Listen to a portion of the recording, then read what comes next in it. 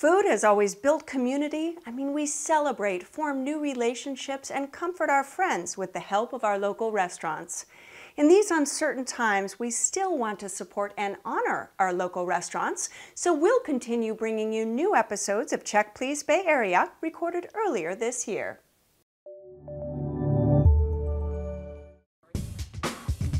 They were perfect and fluffy and felt like clouds on your tongue. It was crunchy, it was juicy, it was tender. It was everything you want. That me and my dad had a fight over it with our spoons like miniature swords. and lots of butter. Right? Yeah, lots of butter. Check Please Bay Area is made possible by the members of KQED and by the following sponsors, whom we gratefully acknowledge for their steadfast support during these uncertain times.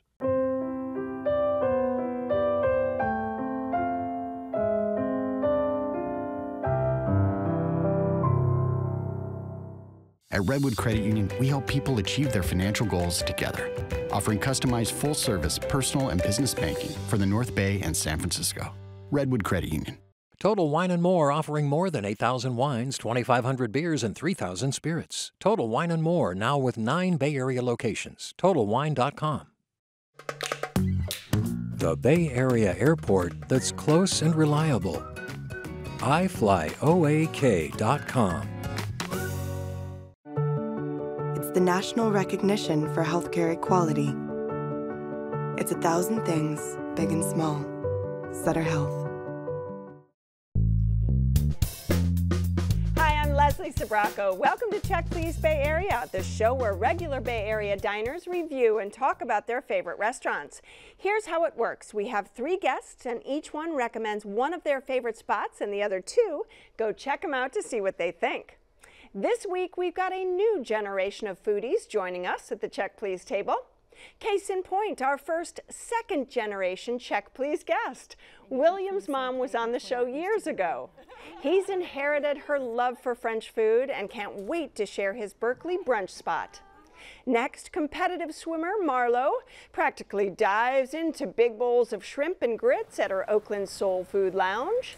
But first, Kaden's well on his way to becoming the next Bill Gates, as writing software programs is his favorite pastime.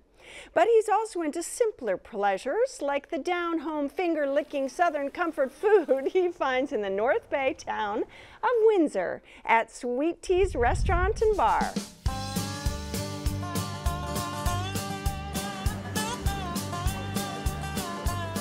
My husband and I met in Georgia, and he fell in love with a barbecue I always tease them. I tell them I'm not sure whether you liked me or the barbecue.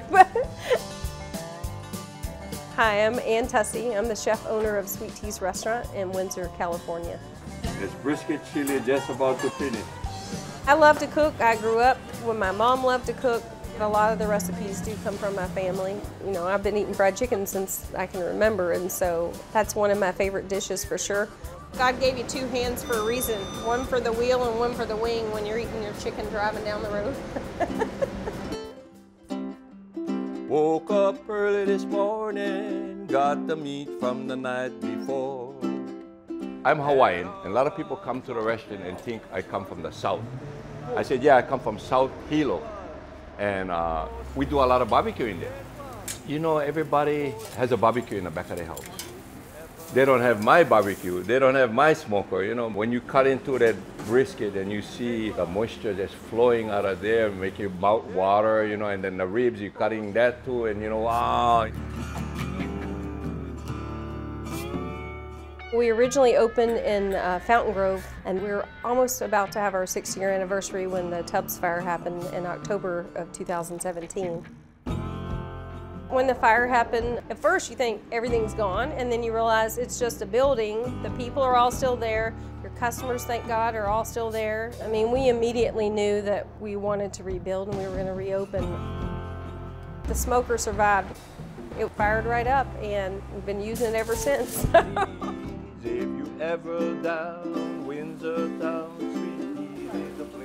we love doing what we do. That's what makes everything good. We love doing what we do. Oh, sweetie, if you ever down, Windsor down, sweetie is the place yeah. to be. Kaden, what is it that makes um, Sweet T's so special? Well, Sweet T's has just the most fun and lively atmosphere. And the best thing of all is that when you walk in, there's a spectacular smell that welcomes you. and the people are always so nice, even if they're jam packed, all the tables are full. They're still so nice to you. And that smell is that big barbecue grill going, right? There's a lot yeah. of, of wonderful aromas wafting through that place. Yeah. Yeah? You guys are all shaking your heads. yes, great. yes, yes. Great. So what's the first thing that you get? Like when you start off, do you get appetizers? What's one of your first appetizers, Kaden? first appetizer that I get is probably the um, make that definitely the crispy Brussels sprouts. They're just cooked perfectly, so they have layers and layers of flavors. Did you guys get the Brussels sprouts? What did you start with, William? I started with the nachos mm. with brisket on them. The nachos it was it was a pile of nachos. It had like white cheddar cheese sauce, and then it had some barbecue sauce on the top and like some brisket all in there. It was really simple, but really good. And did you share that? Because that's a big. Yeah, that's I shared that. Yeah, so, yeah. Mm -hmm. I had the deviled eggs, and those were just amazing. What was so devilish about those? The sauce. The sauce they put on it. It's just it goes so well. It ties the egg and the the bacon. All of it ties together, and I had it with um, a bite of lettuce, and that little crunchiness just took it to the moon. Nice. And then also I have the hush puppies. Uh, okay. Oh yeah, those, I those too. Are Ugh. amazing. like nice and smooth and nice and flaky in the inside and crunchy and nice and fried on the outside. Oh my gosh, yeah, they're so good. I always load them up with honey butter. What do you usually get for your main courses? I usually get the BBQ combo plate. I got it with sausage, um, tri-tip, and the best food mankind has ever tasted, like ever, which is definitely the ribs. I mean, like they, are just so you good. Those, I mean, like they have just the right amount of heat and spice and flavor and juiciness and just like, oh my gosh, it's making me hungry thinking about it. Fall off the bone. You had those ribs too. Yes. Yeah. What'd the you think? The ribs they were really tender. They were they were hot the barbecue sauce, I had barbecue sauce on mine. Mm -hmm. The mm-hmm. barbecue sauce was really like smooth and smoky, and the ribs were smoky too. Did you have the combo plate too? Yes, I had three ways. Okay. I had tri tip, brisket, and ribs. The brisket was really smoky. It was like mm -hmm. it uh-huh. just came out of the smokehouse. Yeah. And it was really tender. The tri tip, it was good. It wasn't as tender as the brisket, but it was all seasoned perfectly, mm -hmm. and it was all really smoky. And talk a little bit about those sides, because you get the biscuit and you get the oh my gosh, coleslaw the or the mac and cheese or the. Okay, so the biscuit is like heaven with honey butter. It's like taking a bite out of heaven and then putting honey butter with it. So you got ribs and you got the biscuit and you're going, you're already in heaven right here. Yeah, I mean like. the mac and cheese was hot. It was really hot when it came out. It was really creamy. You can tell there was a bunch of different cheeses in it. Yeah. Any other sides that you guys had? Coleslaw. I had the mashed potatoes. You had mashed potatoes. Okay, yes. tell me about the those. Mashed, there were garlic mashed potatoes. Ooh. The mashed potatoes were, they were smooth. I had I put butter on mine. it, was, it, it, was really it was really good. You're it was allowed. filling. You're allowed. what did you have? I had the shrimp and grits. I liked it because they put a twist on it. They had corn and sausage in it, and they put a tomato sauce with it, which I really liked it. It like the corn put flavors with the grits, mm. and then I also had blackened catfish, and that was amazing. Like you just kept on wanting to take a bite. It was like you could taste the smokiness mm. and a mm-hmm. little bit of char and all the seasoning dancing into the fish mm. and the greens. Mm-hmm. Amazing. Like there were little bites of just sweet candy. like you just People don't always say that about greens, yeah. right? Anything else that you had? Yes, I had the fried chicken. It was very like thin battered, like you could see the skin through the batter. It was crunchy, it was juicy, it was tender. It was everything you want. And the sides you got with it, I got mac and cheese again. you can never have too much mac mm -hmm. and mm-hmm. cheese. and the coleslaw. The coleslaw was creamy and it was crunchy. Well, mm -hmm. you mm-hmm. guys have been eyeing this in the center of the table, so I know you want to talk about desserts. Don't you? At this spot? Oh my gosh. Okay. Kaden, so you started good. off. So my favorite dessert there is definitely the butter cake. It just has the perfect combination of smoothness and the texture and like that kind of crust on the outside is really good and like a soft crunch. Mm-hmm. Well, and it's made right there on yeah house made right on there. The, on the menu, it says made in the house with lots of love and lots of butter. Right? Yeah, lots of butter. kind of like a bundt cake. Did you guys have that? I had that. Yeah. The ice cream with the cake, it was like the perfect mixture and the fruit drizzled with the sauce. It what did so you have? I had the key lime pie, which I thought was amazing. It had a nice, juicy, big dollop of whipped cream. It had powdered sugar on it, which I thought brought sweet to the lime flavor. And the crust was nice and thick and brittle. Mm. It was perfectly like a cracker going with your cream mm. for the um, key lime pie. It was amazing. And um, did you find it pretty big portions? I mean, when you get that combo platter. Uh, they, were, they were pretty big. Yeah, did you take anything home? Anybody? Yes, I did. I did. I did. Yeah, you yeah. definitely will have leftovers. Absolutely. Oh my gosh, yes. All right, this is your spot. Kaden, wrap it up for us. If you would like some really tasty, authentic Southern food, and enjoy it in a fun and lively atmosphere, Sweet T's is the place to go. All right, and Marlo. If you want an upscale homey family place, and a perfect twist on great originals, Sweet T's is the place to be. Okay, and if William. you want great barbecue food and great smokehouse meat, Sweet T's is the place to go. If you would like to try Sweet T's Restaurant and Bar, it's on Brooks Road in Windsor. It's open every day for lunch and dinner, and the average tab per person for dinner is around $35.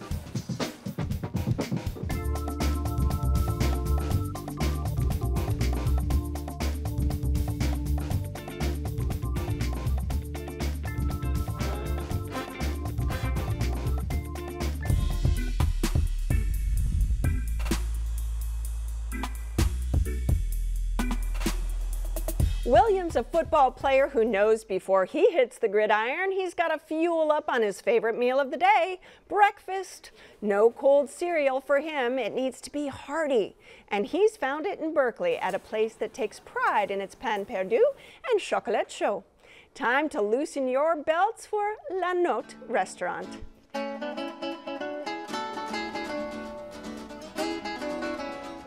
I am Dora Tamatrani, the owner and creator of La Note Restaurant. I've been established here for 22 years. And then the coat suit? So I decided to do something really simple that's homegrown from my family. I'm born in the south of France. My grandmother's Corsican. So all of the flavors are influenced by the south of France.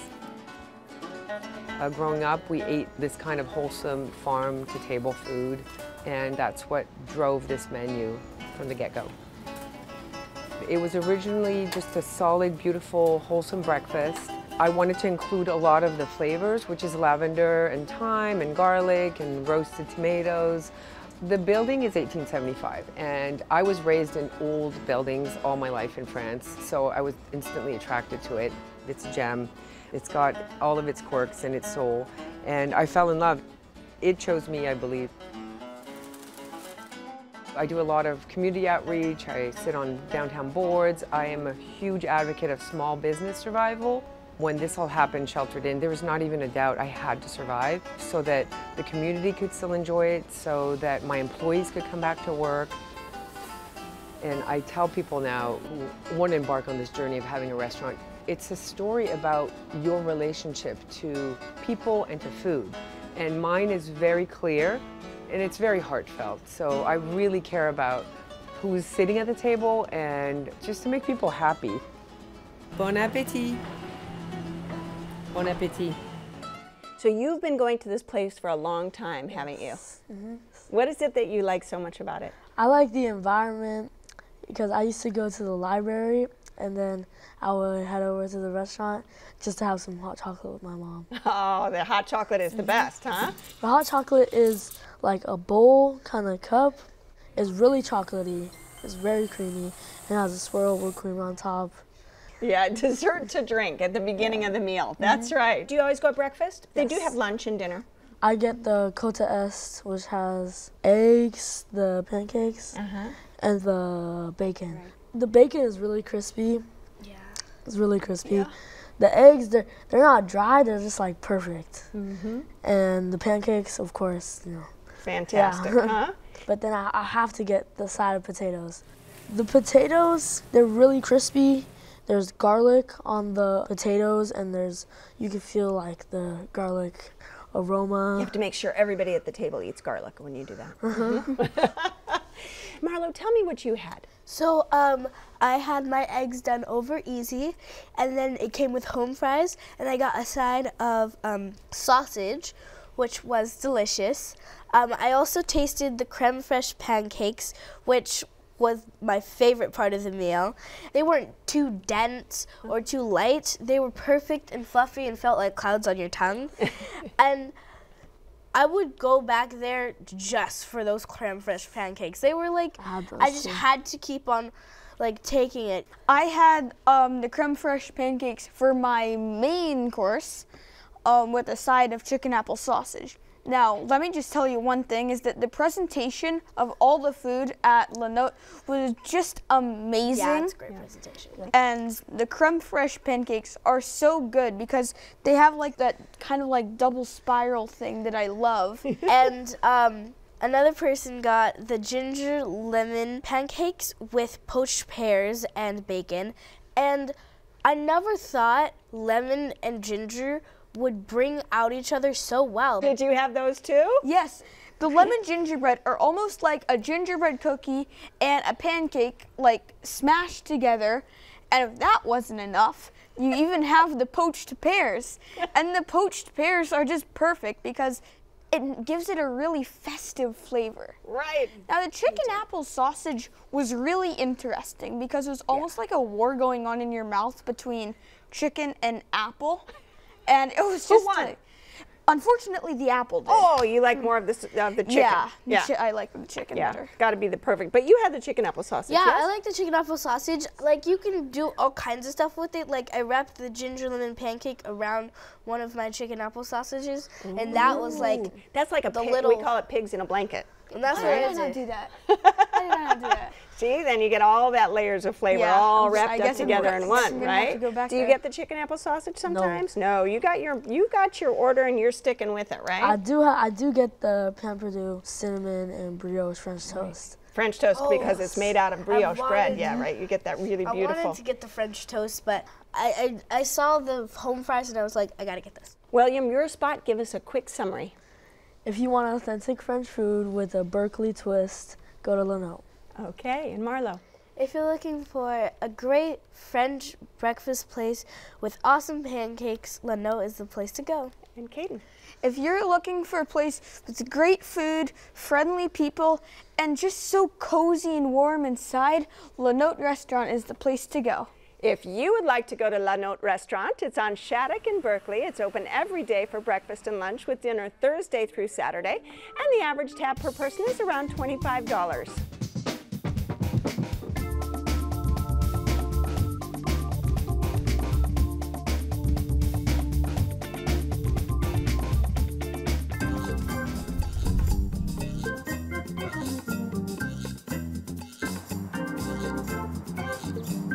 Marlo's Pick is a soul food place with a creative twist, featuring dishes that blend Creole, Cajun, and Asian flavors, served up in a venue that once hosted Oakland's jazz greats. It's Magnolia Street Wine Lounge and Kitchen.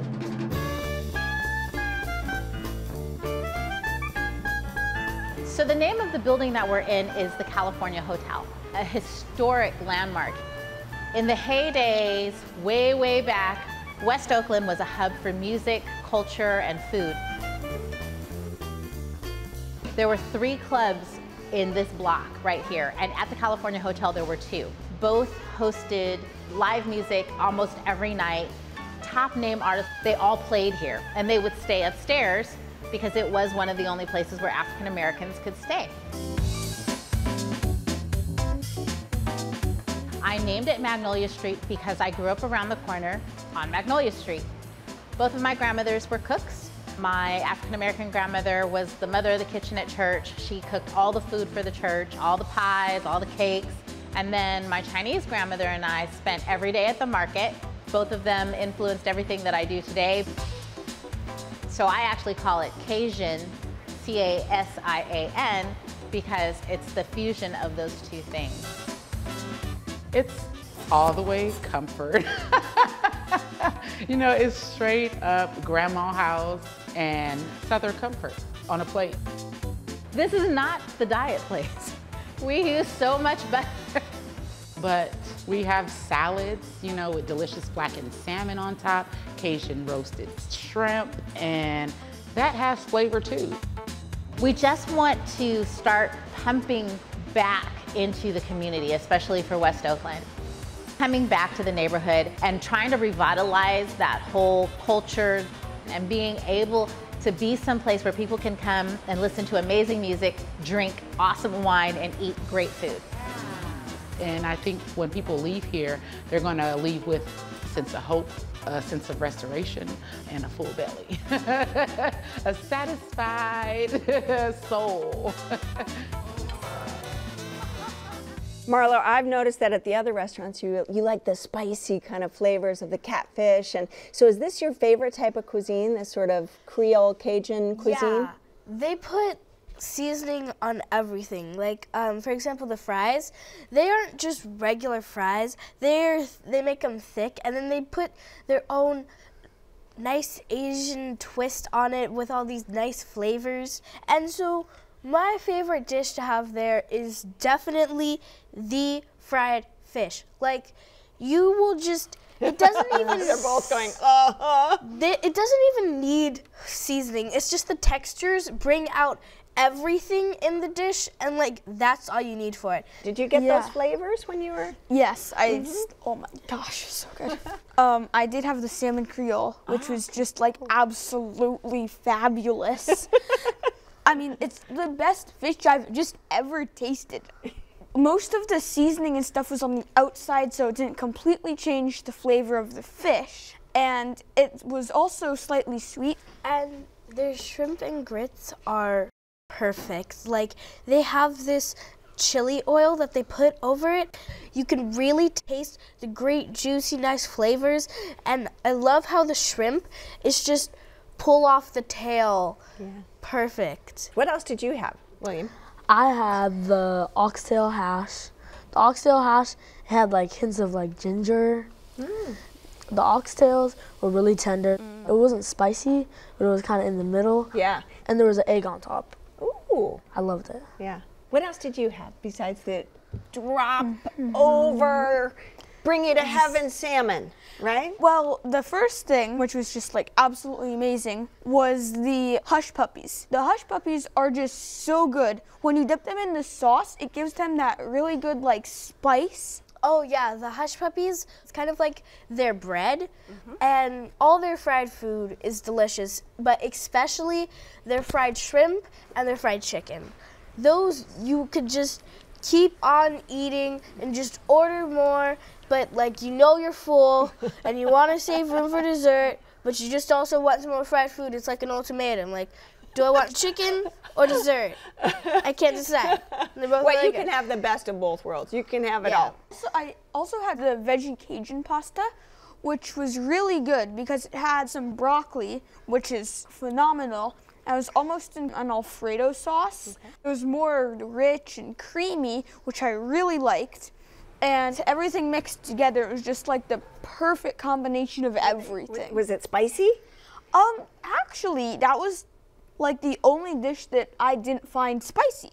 Did you have any dessert, William? Any room uh, for dessert? Uh, it was kind of a dessert, but I had the peach cobbler with the side of the fried chicken. So kind of like was, a chicken and waffle thing going uh -huh. on, uh-huh. right? Yeah, the, the fried chicken was really good. It was crunchy.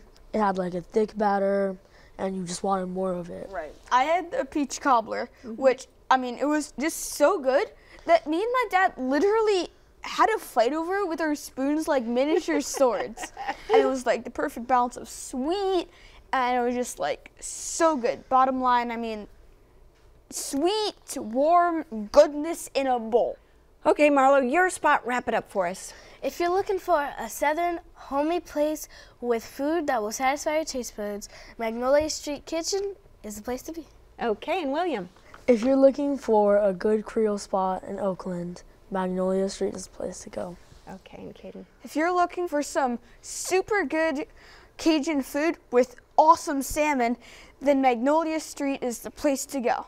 If you would like to try Magnolia Street Wine Lounge and Kitchen, it's on San Pablo Avenue at 35th in Oakland. It's open for lunch and dinner Tuesday through Sunday and closed on Mondays. And the average dinner tab per person is around $25. I have to thank my superb guest on this week's show, Kaden, who cleans his plate every time at Sweet T's in Windsor, William, who likes his hot chocolate brimming with whipped cream at La Note in Berkeley, and Marlo, whose happy place is a warm plate of hush puppies at Magnolia Street Wine Lounge and Kitchen in Oakland. So join us next time when three more guests will recommend their favorite spots right here on Check Please Bay Area. I'm Leslie Sbrocco, and I'll see you then. Come on in, guys. I think we gotta do it again. We really want to hear about your experiences at any of the restaurants we've been talking about. So keep in touch with us on Facebook and follow us on Twitter. And don't forget that you can watch any of the shows on our website at kqed.org slash check please. It's where you'll find links to the restaurants we visited today. Check Please Bay Area is made possible by the members of KQED and by the following sponsors, whom we gratefully acknowledge for their steadfast support during these uncertain times. Cooking is the first kind of love you know. It was starting when I was child with my grandmother doing fresh pasta, and now I transmit it to all the guests. It's something made specially for them. Oceania Cruises, proud sponsor of Check Please Bay Area. It's the transplant procedure that didn't just save one life, it saved six. It's a thousand things, big and small. Sutter Health. The Bay Area airport that's close and reliable.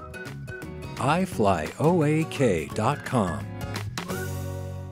Total Wine and More offering more than 8,000 wines, 2,500 beers, and 3,000 spirits. Total Wine and More now with nine Bay Area locations. TotalWine.com. At Redwood Credit Union, we help people achieve their financial goals together, offering customized full service personal and business banking for the North Bay and San Francisco. Redwood Credit Union.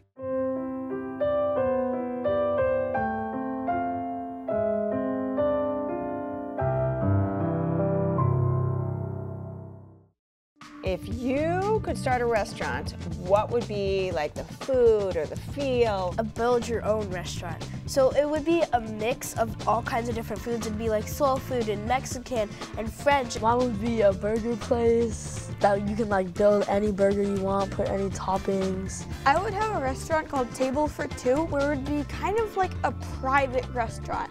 You're the only ones there. Fantastic. Yeah. You guys are so smart.